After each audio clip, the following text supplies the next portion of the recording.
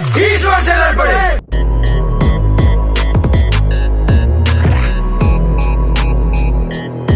बुलाते लोग प्यार से, दस आनंद मुझे नाम से। बुलाते लोग प्यार से, दस आनंद